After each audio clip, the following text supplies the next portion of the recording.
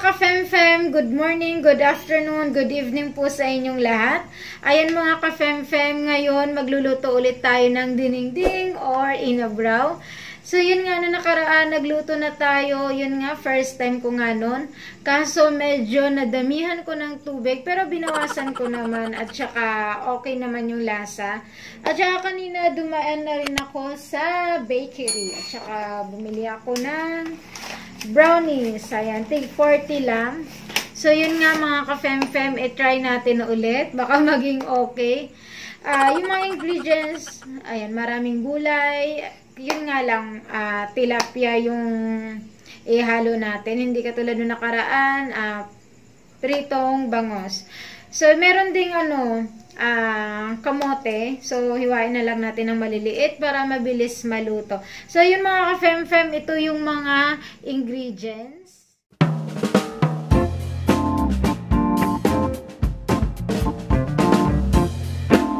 Ayan, luto na tayo mga ka-fem-fem.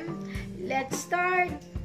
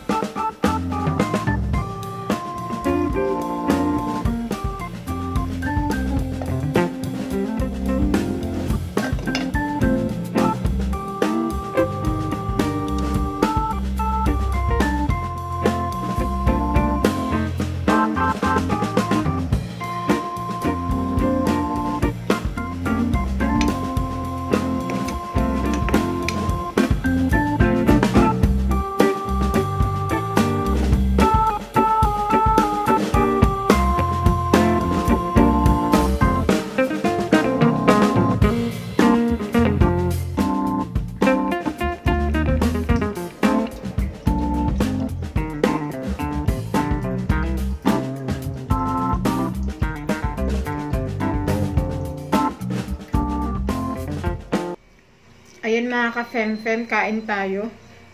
Gutom na gutom na talaga.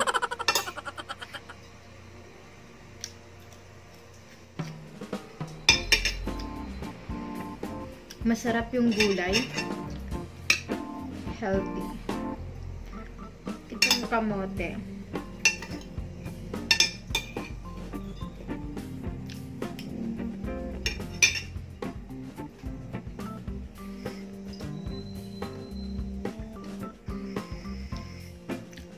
Luto naman yung kamote. Tama lang din. Kala ko hindi siya maluto. Maluluto.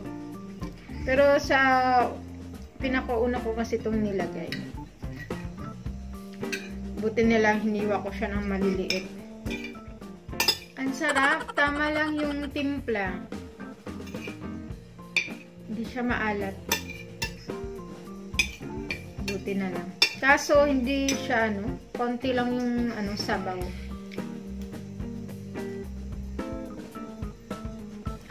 Sarap talaga.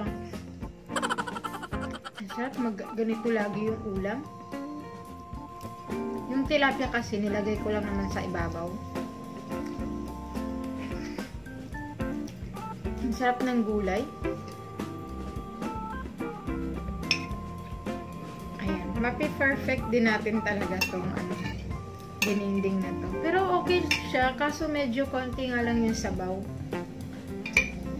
Nung karaan, nadamihan ng sabaw. Ngayon naman, kumonte. Pero okay lang yung lasa. Mm.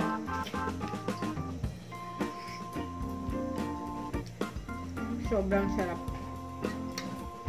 Pinawisan nga ako eh. Kanina eh. Nung nagluluto eh. Kaya nag-ano na lang ako. Punas. Medyo inaantok na ako ka-femfem.